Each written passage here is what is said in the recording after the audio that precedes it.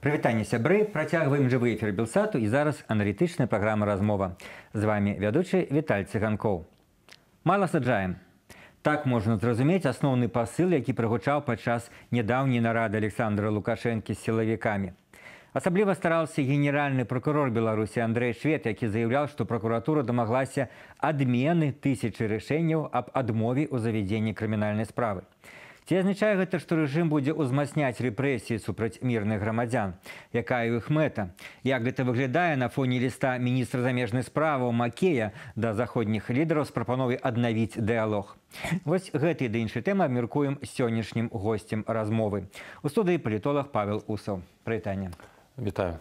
Ну вось я прадставаў так сказать вобразна мала сажаем, але менавіта так, выходзіла са слова лукашэнкі са слова генерального прокурора шведа які скардзіўся што следчыя органы не заўсёды узбуджаюць крымінальныя справы і прокуратура вот перапратэставала целую тысячу таких справаў. Прокуратура такая хорошая сажае шмат а вот міліцыянты і следчыя не выконваюць свае абавязкі па рэпрэсіях да грамадзян.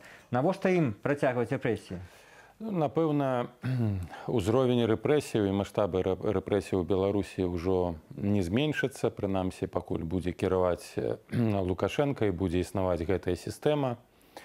І прычын тут некалькі. Па-першае, крызіс, хаця яго і задавілі ён палітычны не вырашаны.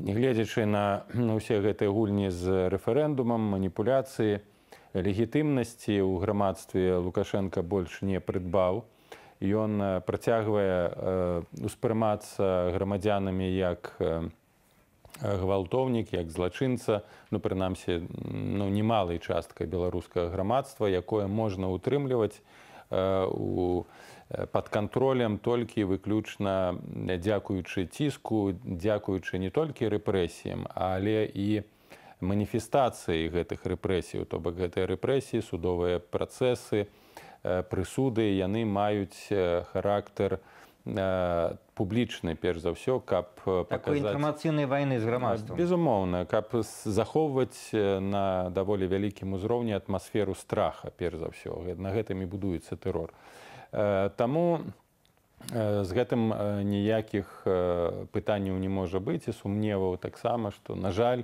рэпрэсіі будуць менавіта перш за ўсё з гэтай палітычна матываванай палітычна матываванага аспекту будзе працягвацца другі элемент звязаны з абшырнай ізаляцыяй беларусі эканамічнай вонкавай міжнароднай у тым ліку і таму што беларусь непасрэдна увязалася у вайну як агрэсар у сэнсе даўшы тэрыторыю рассіі для агрэсіі супраць украіны яна апынулася пад вялікімі санкцыямі таксама на гаспадарку беларусі на сітуацыю сацыяльна-эканамічную беларусі. Будзе уплываць пагаршэнне эканамічнай сітуацыі ў самой рассіі а ў гэтых умовах пры дэфіцыце легітымнасці падтрымкі мабілізацыі агульнай вакол лукашенко пры пагаршэнні сацыяльна-эканамічнай сітуацыі она абсалютна відавочна будзе нарастаць як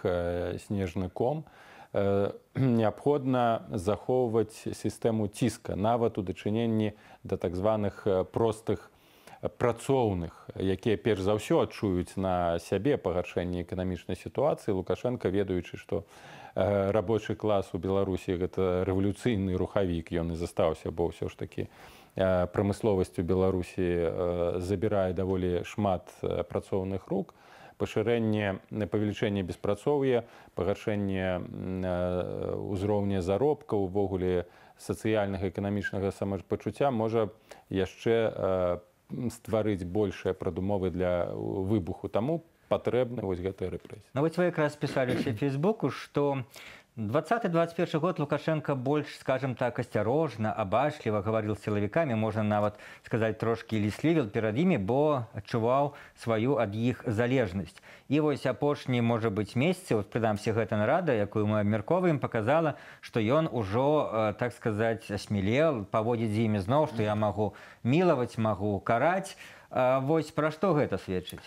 Тут адбылася пэўная псіхалагічная метамарфоза лукашенко безумоўна усе мы былі сведкамі як э, фактычна лукашенко на каленях поўзаў ну, вобразна перад сілавікамі як ён іх узносіў на палітычны алімп.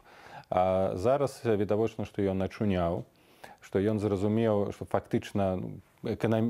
з яго пункту гледжання унутраных пагроз сур'ёзных сістэмных для яго няма што э, нейкая фронда ўнутры бюрократычнага апарату калі яна і была яна задушана.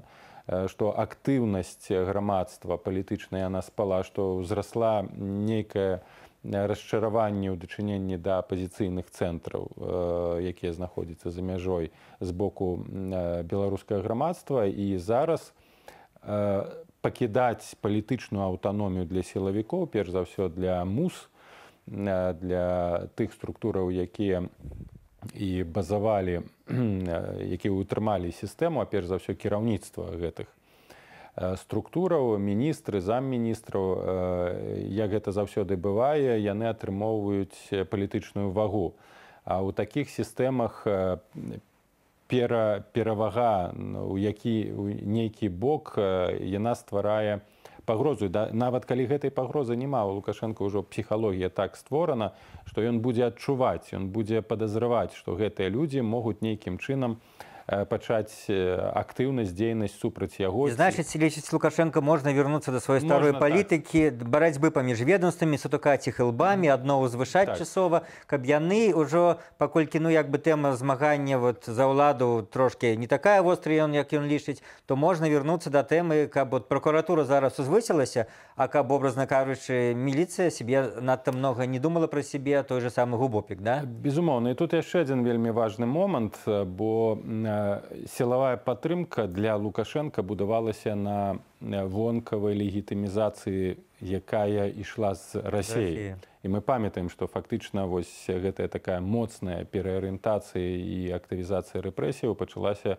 якраз такі тады калі крэмль задэклараваў татальную падтрымку для лукашенко яму было неабходна з аднаго боку і захаваць вось гэтую лаяльнасць з боку сілавікоў з іншага боку не нечым дагадзіць ці пайсці на кампраміс ці саступкі ў дачыненні да рассіі зараз мне падаецца што нейкая такая такі быў кампраміс дасягнуты і што ўжо пытанне сістэмных зменаў ці ці пытанне прэтэнзіяў для лукашенко калі ён там павінен сайсці ў 25 годзе ўжо зараз у крамлі абсалютна не стаіць і ён неяк перастаў адчуваць такой ціск ці ці пагрозу можа быць для сваёй улады персанальны з боку москвы і, і зразумеў што ўжо і нейкіх сігналаў сілавікі ад москвы ўжо не атрымаюць вот вы некалькі хвілін назад казалі такое слово фронта да кажучы пра номенклатуру ў шырокім сэнсе але ці не з'яўляюцца гэтыя звесткі якія былі агучаны на этой нарадзе тое што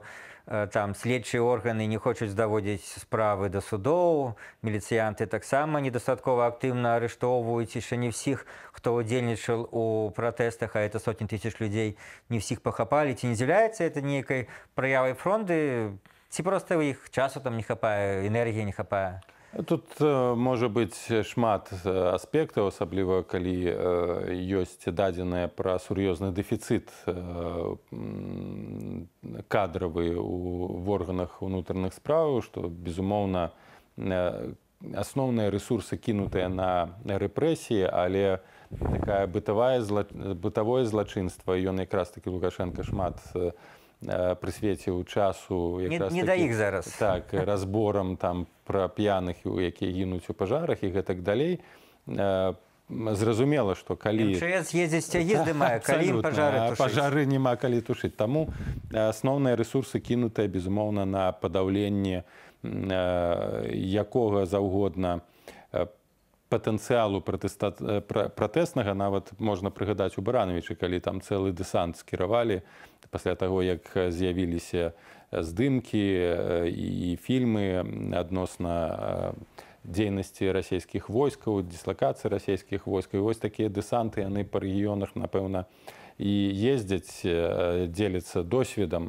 На звычайныя э, с- справы м, і звязаныя з карупцыяй просто з бытавой злачыннасцю напэўна базік справы не які арганізаваная злачыннасць і карупцыя вот так он расшифроўваецца Так. шукае хто там лайк поставил под нейкім допісам хапае Ну, гэтых вось людзей і во- сажаюць іх. э, відавочныя прыярытэты дэградацыя Пры- просто гэтай праваахоўнай Так, функцыі дэградацыя ва ўсім і ў адукацыі у ахове здароўя не, не кажучы пра сілавы блок. Сілавы блок і гэта аснова тэрора іншага на сённяшні дзень функцыі яны рэалізаваць просто не ў стане ну і безумоўна і кадры кадравы дэфіцыт скіраванне э, іншыя прыярытэты э, прыводзяць да таго што і да умоўна лагічнага завяршэння э, справы не даходзяць. Ну і тым больш Э, ну, цяжка акрэсліць які стан маральны у тых людзей.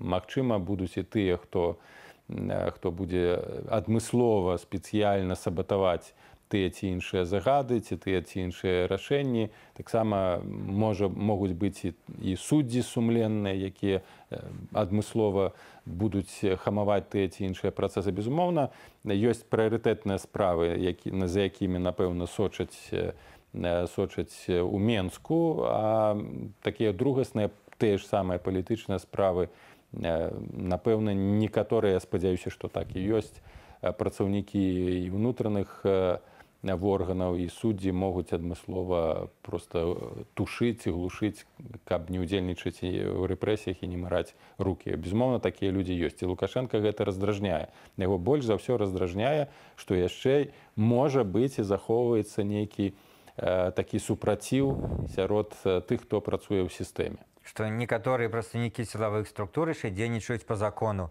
а не по тэрору Безумоўна, ну вось недавно хіба была судовы працэс над э, былым намеснікам ідэалагічнага Аддзелу Белта. так што ён э, дзеліўся з зліваў дадзеныя для лукашенко вось менавіта дзейнасць такіх людзей то бок такія хто ў сістэме хто апаратчыкі так для яго гэта яшчэ большы стрэс э, чым э, актыўнасць э, людзей вулічная бо гэта падважае э, лаяльнасць усёй сістэмы. І у, у выніку нейкай нейкага крызісу гэта э, можа сведчыць пра тое што гэтая сістэма пачне дзейнічаць супраць яго як фактычна гэта было ў двадцатым годзе. Таму рэпрэсіі перш за ўсё ўнутры сістэмы і вось гэтае змаганне э, кланаў ці ці груповак э, яно просто неабходна менавіта дзеля выяўлення вось гэтых э, нелаяльных э, суб'ектаў унутры сістэмы. У анонсе нашай размовы я сказаў пра гэты ўжо сумна вядомы скажем так ліст макея міністра замежных справ беларусі да заходніх палітыкаў з прапановай пачаць аднавіць дакладней конечно не пачаць дыалог і вот што яны все думаюць? На фоне таго што штодня саджаюць новых людзей э, за лайки і каменты ці за то што чалавек yourself. Абсалютна невінную наклейку яго за гэта пасадзілі турму на два гады. І на гэтым фоне ён прапануе Еўропе дыалог ці гэта можа быць макей там ім кажа ну глядзіце я хороша сілавікі кепскія добры дрэнны паліцейскі Ну, Я думаю, што гэта такі э, танны тролінг э, заходніх краінаў, бо сур'ёзна ўжо ўспрымаць макея э, ніхто не будзе. І нават не з нагоды таго, што адбываецца ў самой краіне, усе ведаюць, што адбываецца, а нават э, з прычыны таго, што ён сам казаў. І што з ад- з аднаго боку ўжо само па сабе міністэрства замежных спраў гэта прыдатак да міністэрства ўнутраных спраў у пэўным сэнсе ці да гэта такая міністэрства замежных спраў рассіі так, ці да, ну у сэнсе таго што гэта такі нават не фігавы лісток а нейкі венік якім намагаюцца э, вось пыл гэтай змесці з э, сістэмы таталітарнай. Бо э, па-першае ну макей увогуле не разумее а можа нават і часткова э, аддзелены ад крыніцаў інфармацыі. Ну, можна прыгадаць справу з расійскімі вайскоўцамі калі ён там склікаў канферэнцыю склікаў там журналістаў казаў пра аб'явіў да, што яны зараз выйдуць усе што нічога не будзе Пасля вучэнняў, нагадаем пасля вучэнняў так пасля вучэнняў люда літаральна 3-4 дні пасля перад сканчэннем вучэнняў калі ўжо задэкларавала міністэрства э, абароны што расійскія войскі застаў застаюцца то бок ён абсалютна ну нават э, альбо і не разумее альбо проста яго выкарыстоўваць як, як такога попку папугая які павінен просто нешта казаць і, і э, ствараць э, вось гэтую шум. э, медыяльны вакол э, вакол э, э, сур'ёзных спраў каб адцягнуць увагу. І гэты ліст э, таксама э, верагодна э, сведчанне таго што ён э, просто мусіць нешта казаць каб адцягваць увагу ад э, тых працэсаў якія ідуць унутры краіны ці ствараць нейкі э, знову маніпуляцыйны механізм для для нейкіх размоваў бо насамрэч ужо ніхто не, не верыць у тое што лукашенко зможа нейкім чынам дыстанцавацца ці выйсці ад залежнасці ад рассеі другі э, нават два іншых моманта якія варта прыгадаць э, як ён як ён казаў адносна таго што мы знішчым усё грамадзянскую супольнасць Так. за санкцыі і потым калі заявіў пра тое што з канстытуцыі неабходна прыбраць э, слова э, нейтральнае бо Беларусь не з'яўляецца нейтральнай што ён зараз хоча гэтым зрабіць сур'ёзна напэўна ніхто не будзе ўспрымаць Дякую вялікі Павел. Госцем сённяшняй размовы был беларускі палітолог Павел Вусаў. Размову правёў Віталь Цыганкоў. Заставайцеся з Белсатам.